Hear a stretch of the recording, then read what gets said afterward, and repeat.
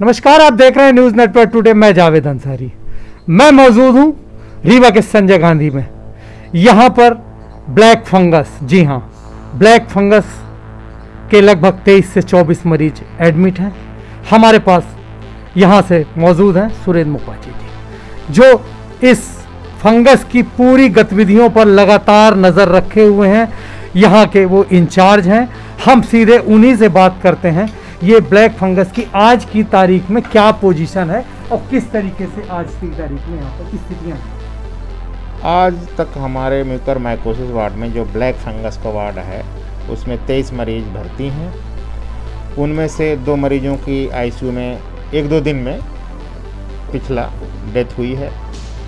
हाँ अच्छी बात यह है कि कुछ मरीज़ अभी रिकवर कर रहे हैं। अच्छा बढ़िया, ठीक हो रहे हैं। हाँ इनमें से दो मरीजों को हमने सफलतम ऑपरेशन किया है, संजय गांधी के ओटी में। एक ऑपरेशन हुआ है शनिवार को, जिसमें आई का भी इन्वॉल्वमेंट था, जिसमें आई के डॉक्टर भी आए थे।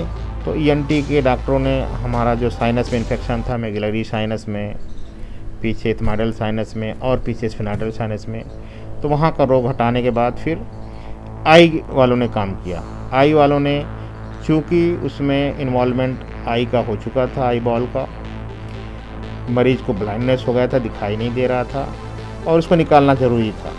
तो मरीज़ के कंसेंट लेने के, सहमति लेने के बाद उनका राइट आई बॉल निकाल दिया गया और मरीज़ के लिए अच्छा है, क्योंकि इस डिसीज़ में मेडिकल ट्रीटमेंट के साथ साथ सर्जिकल ट्रीटमेंट भी चाहिए मतलब इंजेक्शन के साथ साथ सर्जरी भी चाहिए, जहाँ भी फंगस है।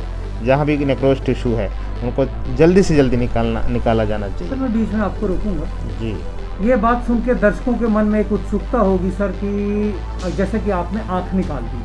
हम्म। तो क्या दूसरी आँख से उसको मरीज़ को दिखाई देगा या उसको दिखाई देना बंद हो जाएगा? यस दूसरे मरीज़ में दूसरे मरीज़ आँख से मरीज़ को बिल्कुल दिखाई देगा क्योंकि उसमें डिसीज नहीं है उसमें डिसीज का इन्वॉल्वमेंट नहीं है।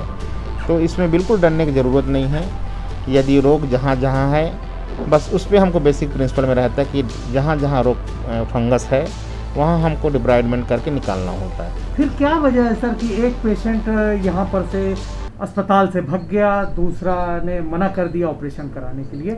तो इसको क्या क्या अवेयरनेस की कमी या आपके हिसाब से और कुछ क्या? एक तो अवेयरनेस की कमी तो पहला है ही है। दूसरा मेरे जो अपना समझ में मुझे जो आ रहा है कि मरीज़ अभी थोड़ा सा डर रहा है उस रोग को समझ नहीं पा रहा और रोग को समझ इस ऐसा नहीं समझ पा रहा है कि अ, उसको मेडिकल और सर्जिकल दोनों ट्रीटमेंट करने से उसको ज़्यादा फ़ायदा होगा वो सोच रहा है कि शायद ये मेडिकल ट्रीटमेंट जो इंजेक्शंस लग रहे हैं उसी से ठीक होगा वो एक आशे में आशा में है एक होप में है। जैसे दूसरे रोगों के मरीज़ मर्ज ठीक हो जाते हैं उस तरह से ये मर्ज भी ठीक हो जाएगा।